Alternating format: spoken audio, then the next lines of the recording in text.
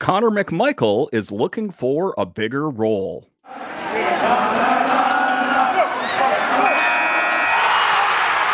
Your Locked On Capitals, your daily podcast on the Washington Capitals, part of the Locked On Podcast Network. Your team every day.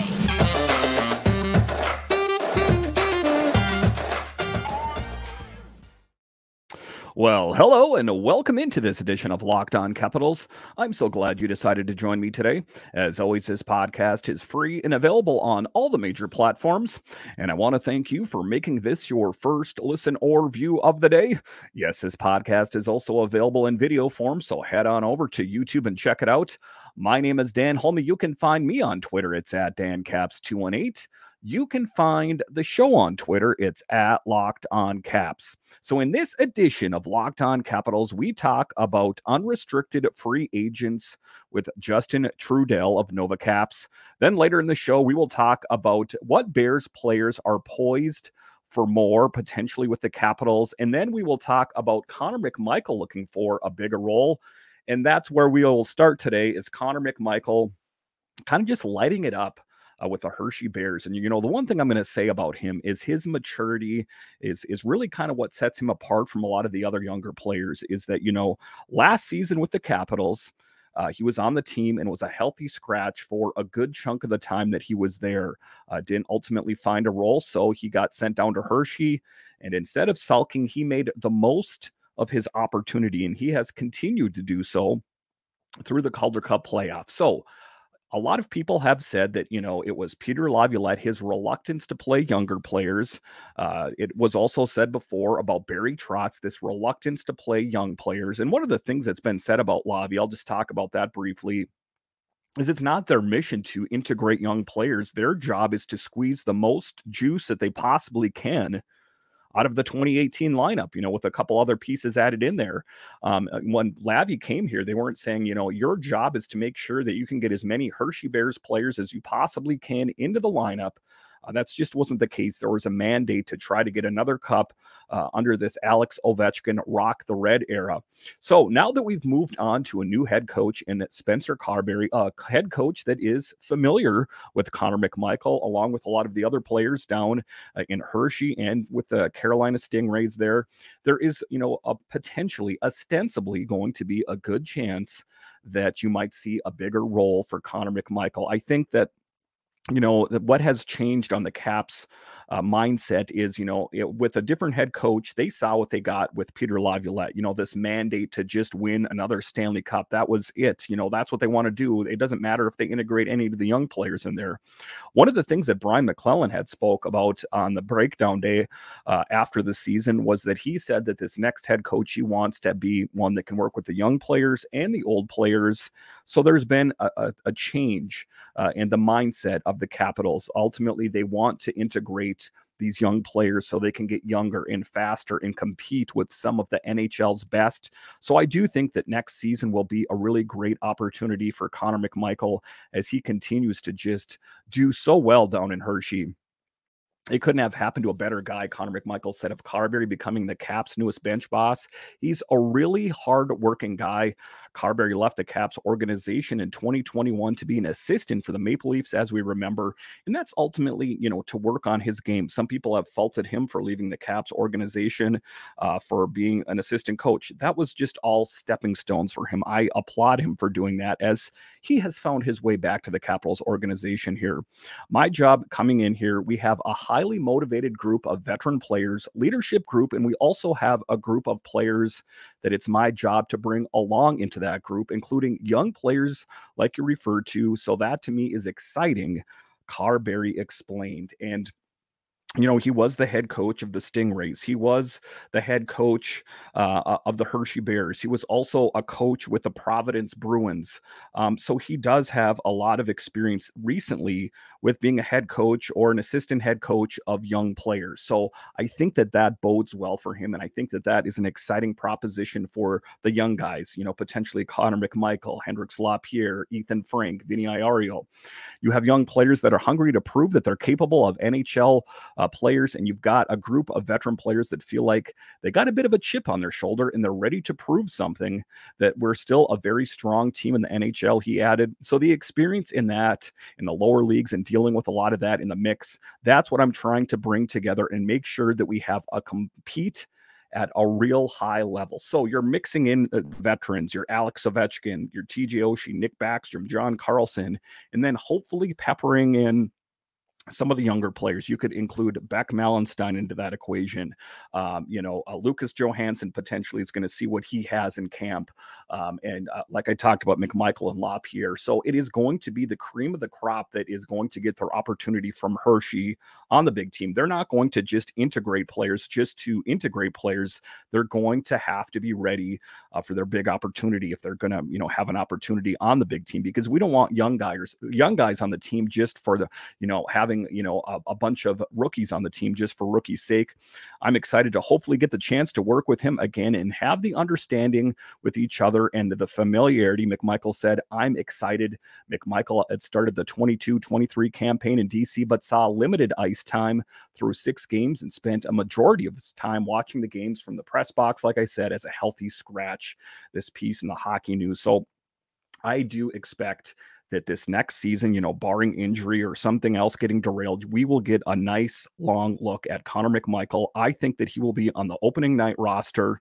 And for me, that's an exciting thing to think about to finally prove it, to walk it, to talk it, to not only say I'm ready for the NHL, but to prove it.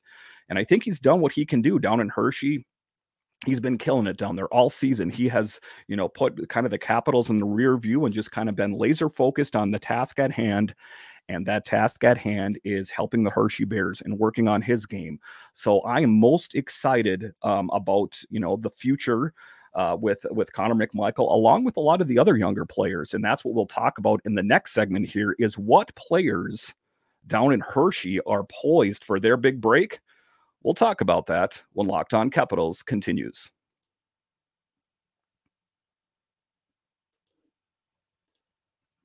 Today's episode is brought to you by a product I use literally every day, AG1 by Athletic Greens. Maybe you're like me, you want to eat healthy and eat well, but it's always easier said than done. That's no longer the case with AG1. With one delicious scoop of AG1 and a glass of water each day, you're absorbing 75 high quality vitamins, minerals, whole food sourced superfoods, probiotics, and adaptogens to help you start your day right. It can be very hard and expensive to keep track of multiple different supplements and vitamins, not to mention how hard it can be on your stomach. AG1 costs you less than $3 a day. You're investing in your health, and it's cheaper than your cold brew habit. Right now, it's time to reclaim your health and arm your immune system with a convenient daily nutrition. To make it easy, Athletic Greens is going to give you a free one year supply of immune supporting vitamin D and five free travel packs with your first purchase. All you have to do is visit athleticgreens.com slash NHL network. Again, that's athleticgreens.com slash NHL network to take ownership over your health and pick up on the ultimate daily nutritional insurance.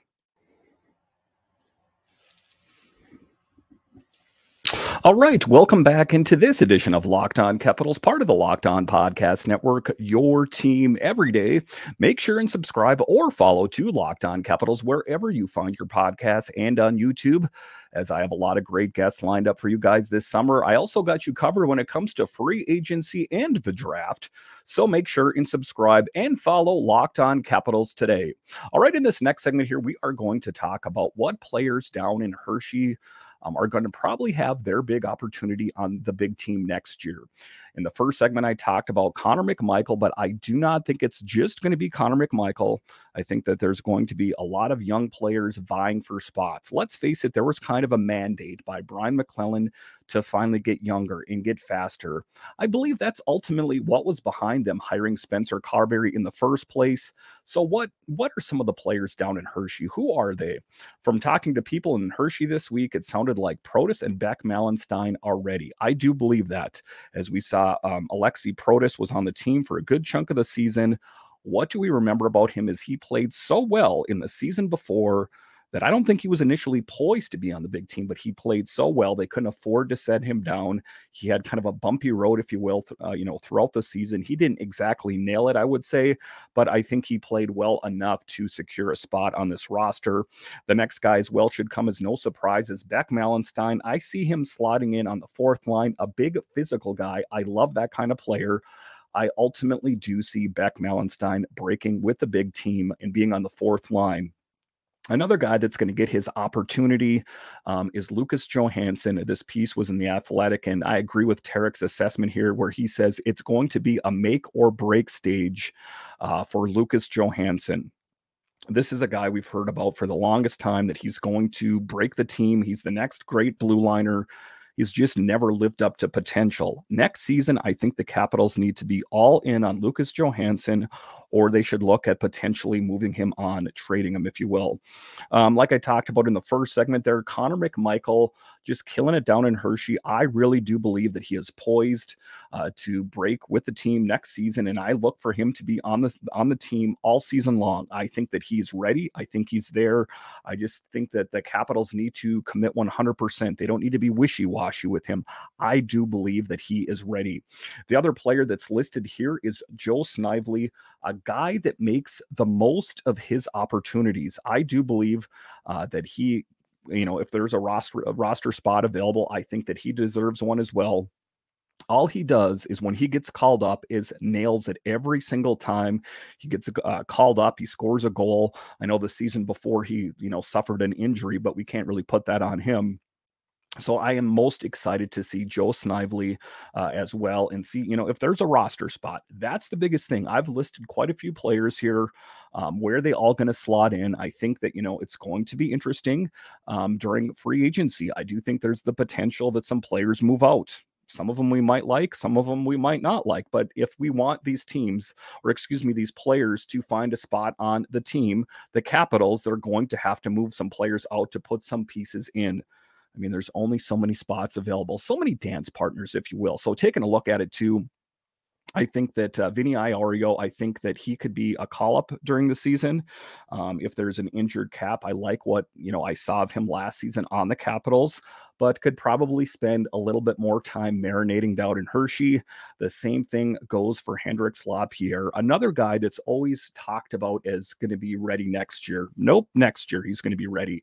Um, I do believe uh, that he is going to need probably one more year to marinate down in Hershey as he had more of a bumpy ride last season. So we don't want to rush these guys in there. We don't want this t- team to be young for young's sake. We want players that are NHL ready. Uh, there was kind of a mandate put on um, uh, Spencer Carbery to integrate some of these young players, but I think the players that are going to be on the team, I know, are going to be the players that are ready, not just, you know, here you go, here's a bunch of young talent, make it work that's not a recipe for success either. So I do think um, it's going to be an exciting training camp to see ultimately who gets those spots. As far as the long shot, keep an eye on Ethen Frank, uh, another guy, an interesting player who played really well with Hershey. And then he got his new contract and he slipped. Some people said it was the rookie slump or the rookie wall, you know, that kind of thing that, you know, he's used to playing about half the games that he played this last season. And we kind of saw, you know, his limitations uh, and, you know, uh, you know, potentially the maximum of what he's capable of. So Ethen Frank is a guy to keep an eye on. If we can get the Ethen Frank at some point that played uh, the way he did during the regular season, uh, sign me up. I, I like his game. He's a really fast skater. We know that for sure. Uh, but if it's the Ethen Frank who's been in the playoffs, then I'm not so sure uh, that he's ready for prime time, if you will. But uh, an exciting thing to think about for sure next season with the Caps as this team finally looks to be getting younger getting faster while also keeping a veteran core because as great as these young players are you still need ovechkin you still need john carlson um, the teams that do really well it's not just all a young team. If you want to take a look at vegas you want to take a look at the panthers right now it is a mixture of young and old players it's not just young players. If you want to take a look at a team that's almost exclusively young take a look at the buffalo sabres they're also playing golf right now not playing hockey. So it has to be kind of a good mix, you know, a good veteran core with a lot of good rookies. Uh, even if you want to bring this closer to home, take a look at what the Capitals did the season they won the Stanley Cup in 2018. It wasn't all rookies, it wasn't all veterans. It was primarily veterans, I would say. Um, but, um, you know, it's a good, I wouldn't say 50 50 mix. I don't know exactly what the ratio should be, but just having the right players. I think maybe scrubbing the whole thing of a title of you're a veteran and you're a rookie and just you know, kind of wiping that away and just saying these are the best players for the team for the team, period. Regardless if they're rookies, regardless if they're veterans, these are the best players in the Washington Capitals organization playing on the team. And who makes that decision? Brian MacLellan, Spencer Carbery, those kind of players, or excuse me, those kind of uh, people in the organization, Brian MacLellan, the GM, Spencer Carbery, the head coach, um, it's up to them. You know, there's dialogue that's going to go back and forth between the two of them. Ultimately, it's the GM that makes a lot of those decisions. Uh, but you got to think that Spencer Carbery is going to say, this is working, that's not working. What do you got down in Hershey that's going to help plug this hole? Uh, that kind of thing. It is going to be an exciting season. And what I want from this team more than anything is for them to be competitive. I don't want it to be like this, you know, a laborious thing where it's going to be they're going to be good three, four years from now. I want them to be competitive, which is open to interpretation next season. If they can win a Stanley Cup, great. But my goal for them, above and beyond anything else, is to make it to the playoffs. This team, this franchise is not used to um, you know, ending the season when the regular season is over. They're used to playing in postseason hockey, whether it's the first round or whatever the case may be. This team, that is their pedigree of being a playoff team. And that's where I would like to see them playing next year. All right. So coming up after the break, I have Justin Trudel of NovaCaps as we talk about potential unrestricted free agent options and potential trade targets. I'll talk to him coming up after the break.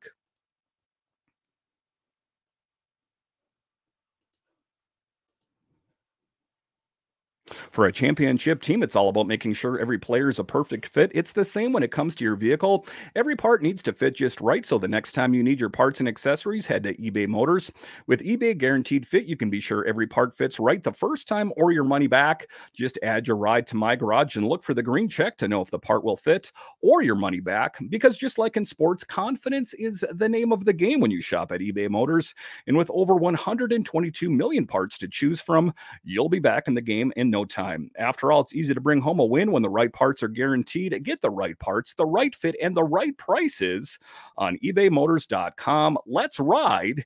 eBay guaranteed fit only available to U.S. customers, eligible items only. Exclusions apply. All right, so let's and switch gears here a little bit and talk about UFAs. This was um, your piece here in NovaCaps. I was taking a look at it. There are some intriguing names, some free agents. It is kind of not the best free agent there, but uh, one of the first ones, Killorn. Um, talk to me a little bit about him and where you think he could potentially fit on this Caps team. Yeah, I think uh, if we were in a very different roster construction scenario where we needed a veteran kind of top six player to come in who's a proven winner, Killorn would probably be my top choice, right? But he's you know he's over thirty, he's slowing down, he's going to win a long term deal. Yeah, I mean he's an effective player still, but he's probably looking like he's going to get you know age like Oshie, I would say.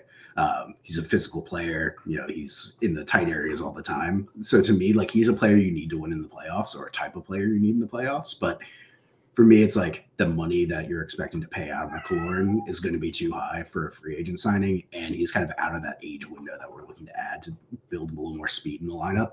Um, I think like ideally you'd probably have him on the second line left wing if he were to sign with the Capitals, but I just don't expect that to happen just because of the age and um, right. just where the Capitals are trying to go.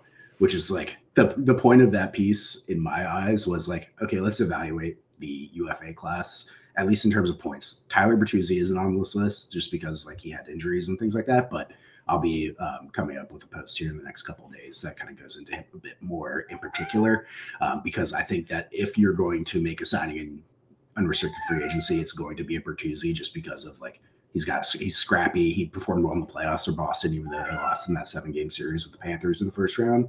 Um, but overall, it's like you are looking at these. You know, it's a pretty underwhelming class of UFAs, at least for forwards this year. Um, so it's like ultimately, if you're going to improve the top six, it's going to be via trades.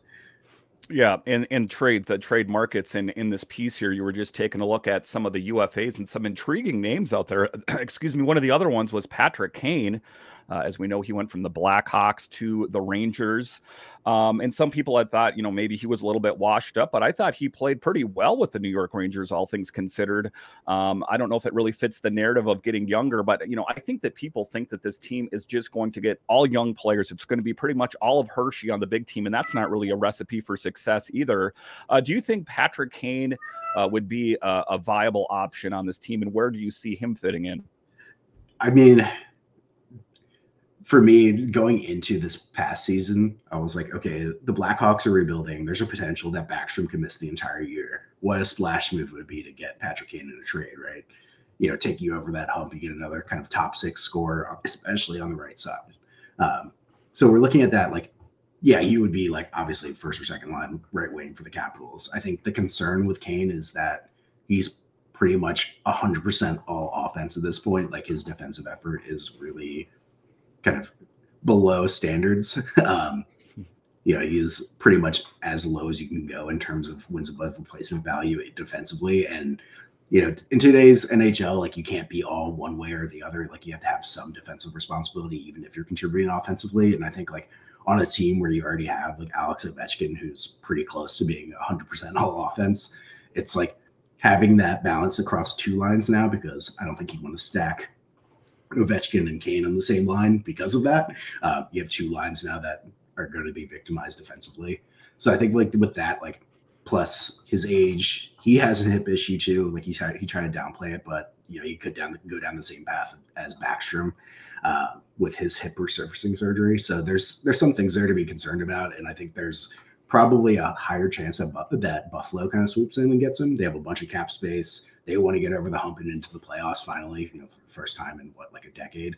So I think that's probably where it's going to land for the most part. But I think like Kane would be like an ideal player if we needed, again, like younger team need to, you know, get over the hump and bring in a player like Kane that has that Stanley Cup pedigree.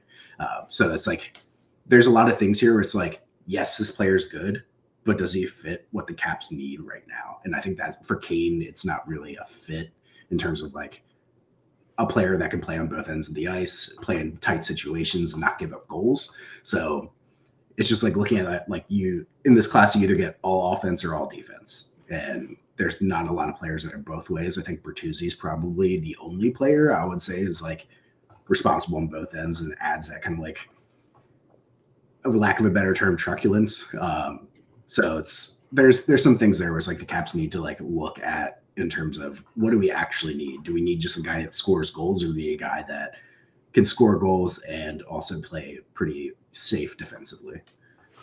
So there is a, a, piece that was out here. I was watching the Daily Face Off, um, and uh, Stephen Whyno was on there, and he made an interesting comment. He said, you know, um, he, he, was asking him, and he, uh, Seravalli, Frank Seravalli asked him. He said, "If is there any big move that you could see happening on the Caps?" And I was like, you know, I was waiting, you know, for a Kuznetsov. I was waiting for a Mantha, which really aren't that big of moves if you think about it. But he said Tom Wilson. Um, I'm sure you've you followed this team as well. What were your thoughts when you heard Stephen Whyno, who's not just this guy who is you know writing a little blog out of his garage? He you know has covered the team for years. He works for the Associated Press. Um, uh, this is the first time I've heard uh, of this from someone real notable. You know, I, I, you know, if you listen to, you know, Sammi Silber or you listen to, you know, Tarik El-Bashir or any of these insiders, I've never heard anyone come out and mention Tom Wilson as a guy that's analytical and looks at a lot of things. What were your thoughts? Uh, kind of his thought was a trade for William Nylander, which uh, kind of you know started to gain traction with RMNB is the first time I heard about that. What were your thoughts on that? I think it's a risky move for sure because like on ice aside, like he's a guy that you can lean on in the locker room. He shows good leadership skills. He's potentially the next captain of the Capitals. So it's like, do you trade a player like that? I mean, he's you know, a unicorn in the NHL he, at this point. Like he's a pure power forward who can score, who's great defensively, can play in all situations. And then I think the issue for me when you trade a Wilson, especially for a Nylander, is they're both on expiring contracts. So when you're looking at it, like, do you look at Nylander and be and feel more confident extending Nylander than you do with Wilson, who says he wants to be here, and then you have MacLellan who says like, we're not going to stop, like we're going to do everything we can to extend Wilson and make sure he ends his days as a capital. Uh, so to me, I think it was like one, it makes sense from the roster management standpoint if we remove all kind of emotions towards players, right? Like you have a very good player on an expiring contract, you need to get the team better for the future. You know, he would be the player that gets the most in a return in a trade, right? So like from a roster construction standpoint, if we remove everything from the intangibles list from Wilson, he's a player, He's effective. He's on an expiring contract. He's going to want a big raise. Okay, that's a trade candidate for a team that's trying to retool, right? But I think for the most part, when you look at like the way the Capitals are built, like Tom Wilson's kind of the identity right now, right? Like heavy hitting, physical. You know, he can skate, he can score. That's like what the Capitals want, right? In terms of the roster construction.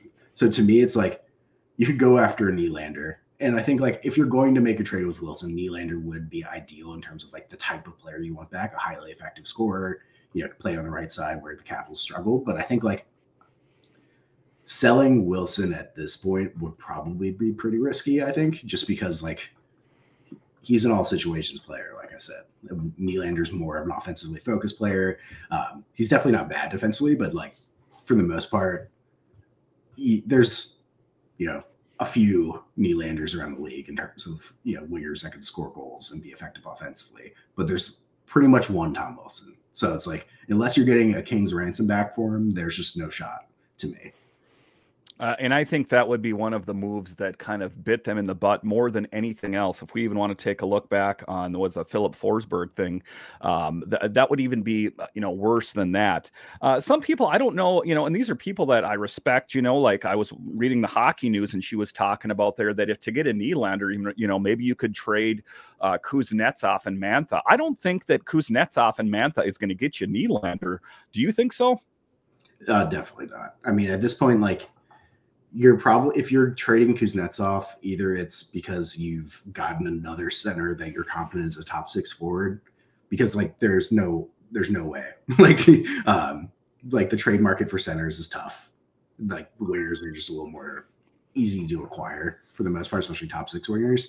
But top six centers that you know have the capability of being elite, like Kuznetsov, but also has issues with you know consistent effort on the ice. Teams that are looking to acquire Kuznetsov or would be interested in maybe acquiring him are going to be like, well, we're not going to pay premium price for him because we know that he's not going to play his hardest every night.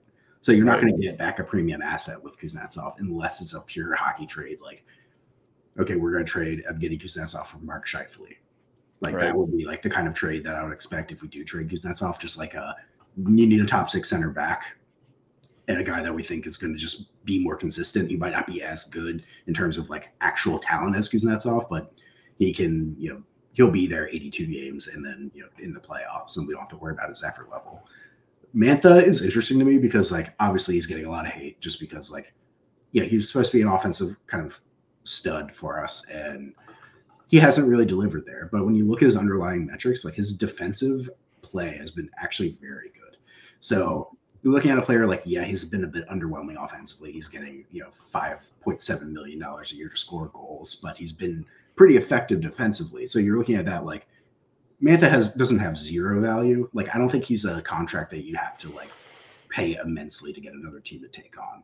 He's probably a player that like if you traded him to a team like the Coyotes for, you know, whatever, it would probably be a pretty low return, I would say. But that would be a player perfect for a Coyotes because they could, you know, turn around and sell him at the deadline if he has a resurgence there, just a change of scenery, wants to get back in the playoffs, that kind of thing. So uh, Kuznetsov and Mantha definitely wouldn't fly for like Toronto just because like the money aspect, right? Like unless they're completely breaking down their core four group of forwards, like there's no money there to really have that give or take of like, you know, nearly seven million dollars from Nylander plus seven um, what 7.8 for Kuznetsov plus 5.7 for Mantha. Like that, just the math doesn't. Yeah, I thought that was kind of odd, and you know, it's no one wants to even entertain the idea of you know them trading Wilson. I don't want them to trade Wilson, but ultimately, if you're going to get a fish like that, I think if it was Kuznetsov and Mantha, let's just kind of remove the money from the situation. Uh, just talking about just a value in a player, I think it would almost you'd have to sweeten the deal with like a McMichael, um, or maybe the draft pick that they're getting number eight, something like that. Um, so I don't think you know that. I mean, I would be if they want to trade Kuznetsov and Mantha for Nylander. Okay, let's do that today today if you guys really want to do that. I think that uh, you know uh, they, that, that probably would not serve the Toronto Maple Leafs uh, real well. All right, I want to thank you for once again for joining me on this edition of Locked On Capitals. And are you a fan of other DC sports? Well, Locked On has got you covered as we have Locked On Nationals, Locked On Commanders, and Locked On Wizards. So if you're a fan of any DC sports, we've got you covered. If you're following this Stanley Cup, make sure and follow Locked On NHL as they have a podcast five days a week on your podcatcher of choice and on YouTube, breaking down all the action with the Stanley Cup. Are you an everydayer of Locked On Capitals? I would love to hear from you. Hit me up on Twitter at DanCaps218 or at Locked On Caps and say, hey, Dan, I'm an everydayer of Locked On Capitals. I'll give you a shout out on Friday's show. All right, once again, thank you for joining me on this edition of Locked On Capitals, part of the Locked On Podcast Network, your team every day. My name is Dan Holme, and I'll talk to you again next time.